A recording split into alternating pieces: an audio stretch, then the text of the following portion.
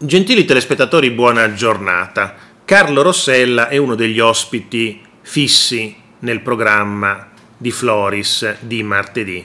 È uno degli ospiti fissi perché serve al conduttore per andare contro al governo e far passare l'idea che sia un governo che fa tutte delle schifezze, una peggio dell'altra.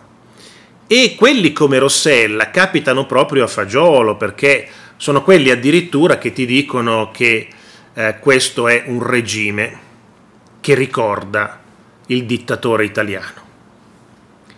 Ecco, chi meglio di questi personaggi possono portare avanti la missione del conduttore che è quella di dire che e far capire al suo pubblico che siamo governati da una sorta di regime o, o qualcuno che ci sta portando a una ungherizzazione dell'Italia. E così ogni martedì c'è questo Carlo Rossella che in videocollegamento attacca il governo. Ex direttore di Panorama e pseudo esperto di vari temi di politica e attualità. Dico pseudo esperto perché sentirlo parlare mi sembra una persona schierata eh, ideologicamente e basta. Non ci vedo un pensiero critico, autonomo, libero da condizionamenti, un pensatore, no. È ideologicamente assolutamente schierato a sinistra. Eh, ecco. Si, si, parla del caso Daniela Santanché, eh, che gode dell'appoggio del Presidente del Senato, eh, una vecchia amicizia, eccetera, eccetera. Quanto alla compravendita sospetta della villa di Alberoni, con un guadagno di un'ora in 58 minuti, Rossella conferma le perplessità. Beh, una cosa complicata da spiegare alle persone normali, mi sembra molto complicata, c'è dietro come al solito l'amicizia della Sant'Anché con la russa, che è ferrea. Beh, allora lì... Eh, una compravendita alla luce del sole, così, vista così, ha due aspetti. Comprano una casa e la rivendono dopo 58 minuti a un milione in più. Guadagni un milione, si paga le tasse sulla plusvalenza, dite vabbè, hanno fatto un affare incredibile, chi riesce a guadagnare in 58 minuti un milione? Però poi ci pensi e dici, beh, caspiterina, qualcosa di strano c'è, perché ehm, è per questo che stanno indagando i giudici, non per il fatto in sé, compri, rivendi e ci guadagni. Voi potete comprare una cosa d'occasione all'outlet e poi vendervela su, su internet ehm, e guadagnarci qualcosa. Cioè, cavolo, Te in un'ora hai comprato una cintura all'outlet 10 euro, l'hai rivenduta a 30 e hai guadagnato 20 euro.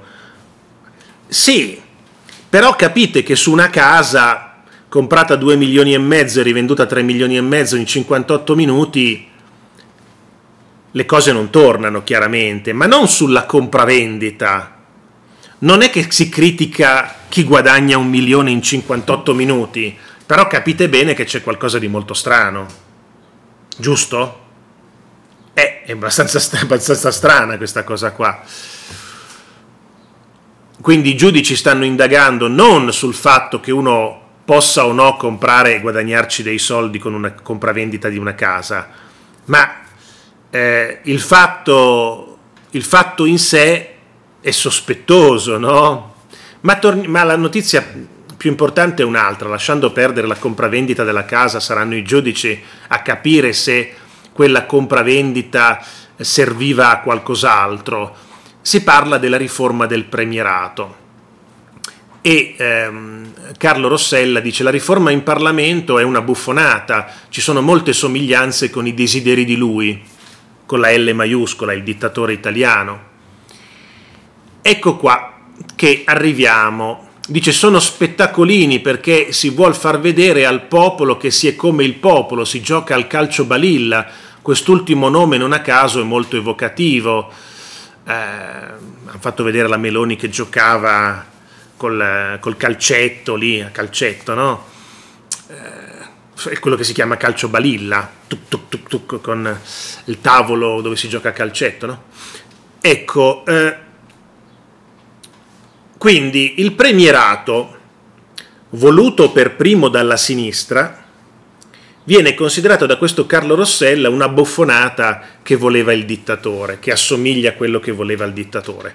In realtà il premierato è una cosa che voleva la sinistra, per prima, tanti anni fa, una cosa che ha sempre voluto Renzi, il PD, solo che da quando il centrodestra lo ha messo nel programma è diventata una, una cosa che ci porterà alla dittatura, è praticamente eh, bassa ideologia, nel senso parliamo di, di, di, un livello di faziosità ideologica sconcertante. Tutto quello che, fa, che fanno gli avversari fa schifo ed è pericoloso. Destra e sinistra sono uguali, eh? Tutto quello che fa la sinistra fa schifo da parte di destra, tutto quello che fa la destra fa schifo dalla parte della sinistra. Tifoserie, semplici tifoserie. E così si arriva a dire che il premierato che voleva la sinistra è una buffonata perché ha delle somiglianze con i desideri di lui, lui, il, è il Crapun, no? Eh, diciamo che il premierato della Meloni in realtà non è neanche un premierato. Il premierato vuol dire spostare tutti i poteri del Presidente della Repubblica sul Presidente del Consiglio.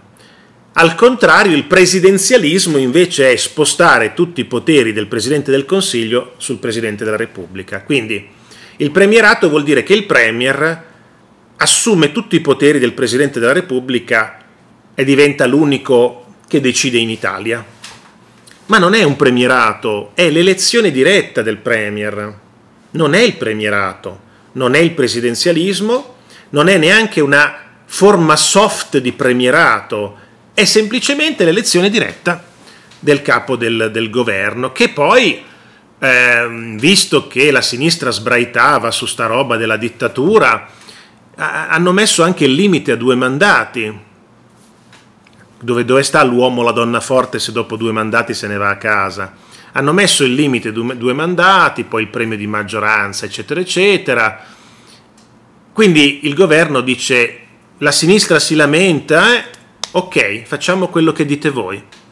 Però voi vedete che non è sufficiente perché la sinistra è schierata ideologicamente come una tifoseria, pertanto se il premierato è quello che vuole anche la sinistra esattamente, continueranno a dire, come questo Carlo Rossella, che è una buffonata, che somiglia ai desideri del dittatore. Eh, questo è il punto. È inutile che il governo faccia questa elezione diretta come cavolo vuole perché è inutile andare a inseguire la sinistra, dai siete d'accordo anche voi, votatelo, perché non lo voteranno mai, solo per presa di posizione ideologica. Arrivederci a tutti e grazie.